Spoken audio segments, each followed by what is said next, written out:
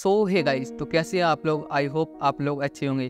तो आज की जो स्टोरी है, वो हमारे साथ सुमित ने शेयर की है। तो आपको भी अपनी स्टोरी मेरे साथ शेयर करनी है। तो दी गई मेल आईडी पे आकर आप अपनी स्टोरी मेरे साथ शेयर कर सकते हैं। सुमित, जो कि एक मिडिल क्लास फैमिली से बिलोंग करता है और उत्तर प्रदेश में रहता है।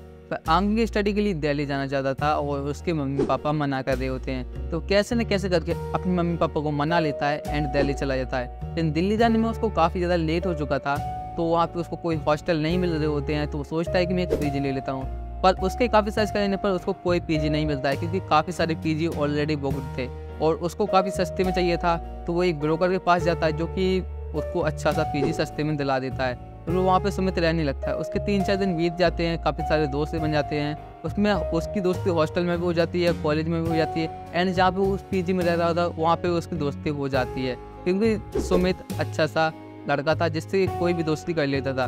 उसकी शक्ल से कोई ये नहीं बोलेगा, कोई ये शैतान बच्चा है या फिर कुछ भी नहीं। उससे आसानी से दोस्ती कर सकता था सब कोई और वो आसानी से सबसे प्रेम से ही बात करता था। काफ़ी दिन बीत जाने के बाद उसके एक दोस्त का बर्थडे आता है, जो कि उसकी काफ़ी ज़्यादा क्लोज था। तो वो सुमित उसके लिए एक सरप्राइज़ गिफ्ट रखता है, जो कि उसके लिए काली बिल्ली लेके जा रहा होता है।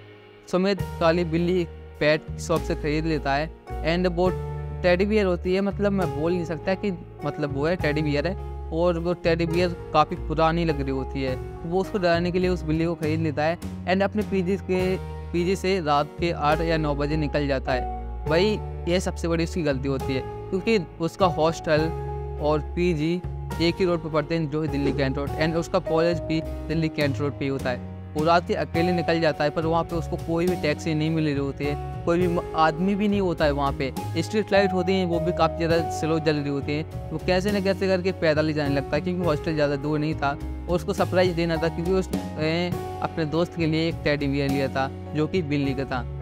टेडी बियर शायद गलत हो गया है, फिर भी आप एडजस्ट कर लेना। वो उसके लिए लेके जा रहा होता है तभी।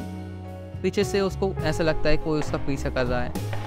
और जब वो देखता है तो उसके हाथ में वो टेडी बियर यानी जो बिल्ली होती है, वो होती ही नहीं है। जैसे वो चलता है तो उसको लगता है जैसे कोई मेरा पीछा कर रहा है एंड थोड़ी देर बाद उसको आवाज़ आने लगती है।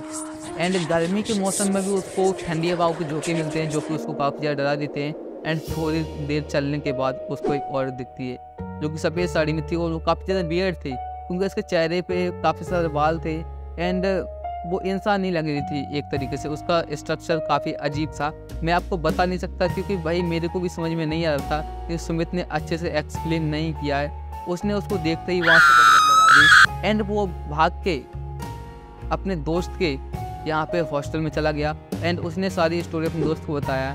दोस्त समझ रहा है कि ये मेरे मज़े ले रहा है। इसलिए उसकी बात को कोई भी बिलीव नहीं करता। एंड बर्थडे सेलिब्रेट करने के बाद भी सुमित को वहाँ पे लग रहा है कि वो यहीं पे है। और उसके पीछे कोई ना कोई है। साथ में उसको बिल्ली की वही आवाज़ हो रही होती है, जो कि उस टेडी वेयर में से आ रही होती है।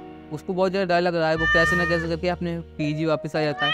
पर उसको वहाँ पे भी इतनी गंदी नेगेटिव फील आ रही होती है कि वो वहाँ पे रात भर सो नहीं पाता। कैसे कैसे करके सुबह होती है वो सुबह किसी ना किसी से दोस्त से मदद माँगता है, यार, मेरे साथ ऐसा ऐसा हो रहा है, मेरे को आवाज़ आ रही है बार बार पर कोई भी उसकी मदद नहीं करता। क्योंकि सुमित का नेचर मज़ाक करने का था तो सबको लग रहा था सुमित मज़ाक कर रहा है पर सुमित मज़ाक नहीं कर रहा था। वो अगले दिन अपने पीजी में जाता है। दिन में भी उसको वहाँ पे आवाज़ आने लगती है और बहुत ज़्यादा डर लग रहा होता है। तो सुमित की सही रात होती है तो सुमित को वहाँ पे वो औरत दिखाई देती है, जो कि उसको उस रोड पे दिखी थी और वो उसको पीजी में भी दिख थी। और साथ में जो अपने दोस्त के लिए वो बिल्ली का टैडी बियर लेके गया था, वो भी उसको वहीं पर दिख रहा होता है। उसको बहुत ज़्यादा डर लग रहा होता है, एंड चारों तरफ़ से उसको नॉकिंग की आवाज़ आ रही होती है। उसकी वो औरत है, वो खिड़की के पास खड़ी होकर मुस्कुरा रही होती है। सुमित बहुत ज़्यादा डर जाता है और बेहोश हो जाता है। उसकी आँख सुबह दस से ग्यारह बजे खुलती है और वो सीधे अपने मम्मी पापा को फ़ोन लगाता है। फ़ोन लगाते ही उसके मम्मी पापा कहते हैं कि तुम वापस उत्तर प्रदेश आ जाओ, मैं तुम्हारे यहीं पे इलाज करूँगा। उस समय कुछ नहीं, अपने सामान सीधे पैक करके उत्तर प्रदेश से निकल जाता है क्योंकि वो उसकी तबीयत उस दिन बहुत ज़्यादा ख़राब हो चुकी थी।